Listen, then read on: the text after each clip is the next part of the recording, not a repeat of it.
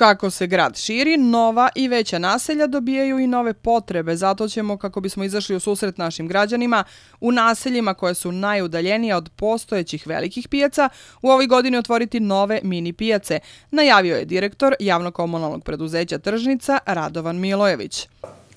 Imamo u planu da se napravi pijaca u Brzom brodu, tu smo u pregovorima sa lokalnom supravom i sa određenim eh, strukturama u gradu, na Ubrzom brodu, jer to je veliko naselje, nema pijacu, i u Novom selu.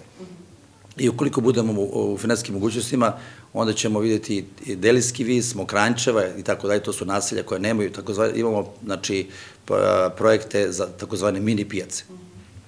Tako da građani koji e, žive u tim delima moći će da da kupe potrebštine e, na najbliže mesto, a ne da dolaze na pijace koje su im udaljene, pogotovo kad su loše vremenski uslovi.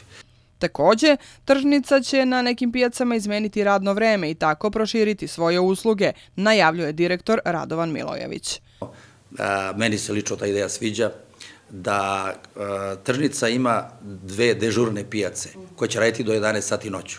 Znači, sa ove strane Nišavija, tako kažem, bila bi Palilulska pijaca zatvorenog tipa, a sa druge strane pijaca u Dorlanu zatvorenog tipa, koja bi bile dežurne do 11 sati uveče. To bi regulisali pijačnim redom, tako da domaćice mogu u 9 sati, 10 dođu da kupe uveče, ovaj, recimo, namirnici, da spreme ručak za sutra. Ne moraju sutra da žure s posla.